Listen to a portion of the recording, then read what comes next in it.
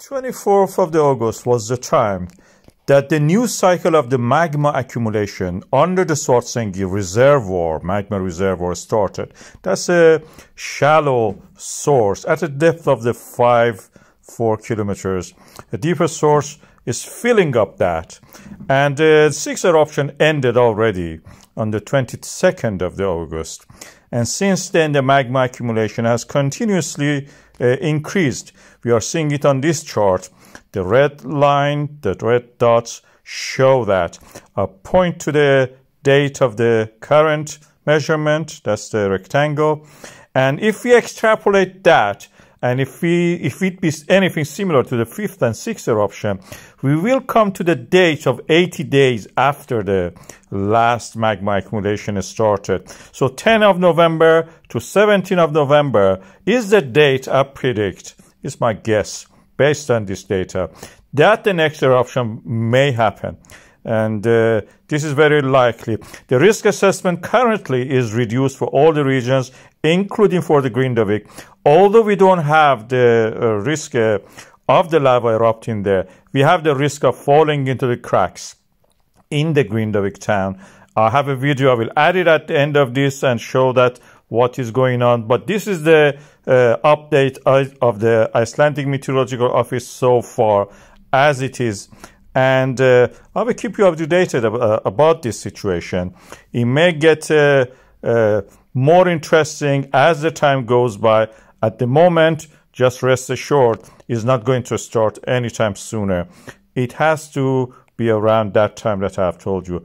10 to 17 of November 2024 is the date that I think that we expect something happening there. Watch that video that I mentioned. When in November 2023, a swarm of the earthquakes shocked the town of the Grindavik in Reykjanes Peninsula of Iceland, we never thought that will have much implications for the town itself. But it did.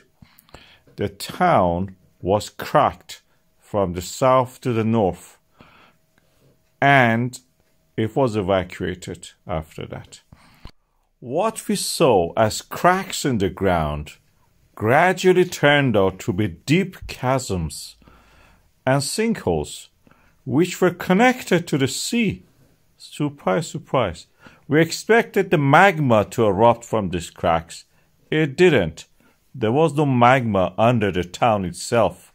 If it was, it would have erupted through these cracks, what we call as fissures, if they had magma in them.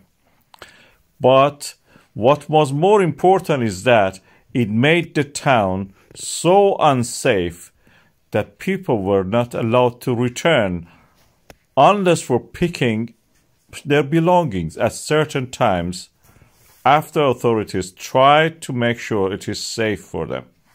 One of the buildings which cracked was the sports center or gym, as I call it.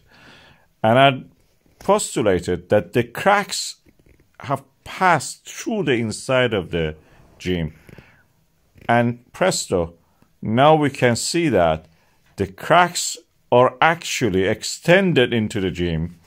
There was no photo of it to the outside world.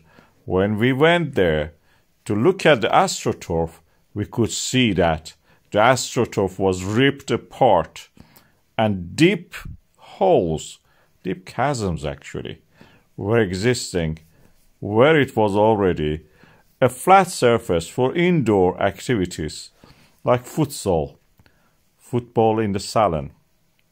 The crack extended most of it through the town. It was displaying the splitting of the North American plate and uh, Eurasian plate.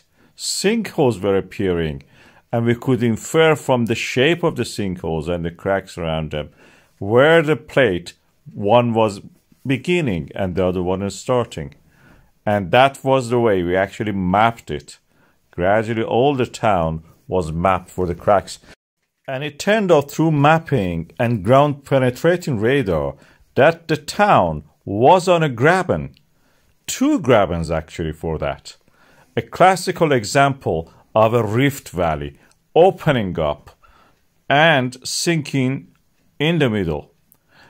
This can potentially cause the town either fall into the sea or worse, because there is no magma under the town itself, we may have eruption in the sea where there is some earthquake, which shows there is potential for eruption of magma. Something in a similar scale to what we saw in the Cumbre Vieja volcano. Watch it. Apocalyptic views of lava flow from the Cumbre Vieja volcano. Now, two months has passed.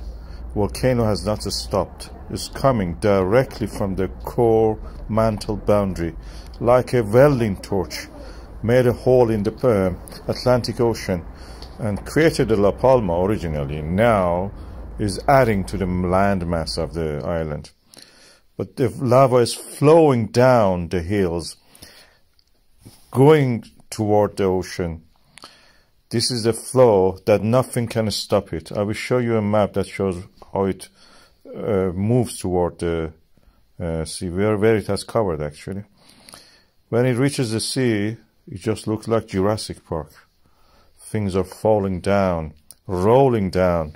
The seawater waves are coming toward the uh, headland created by these lava flows.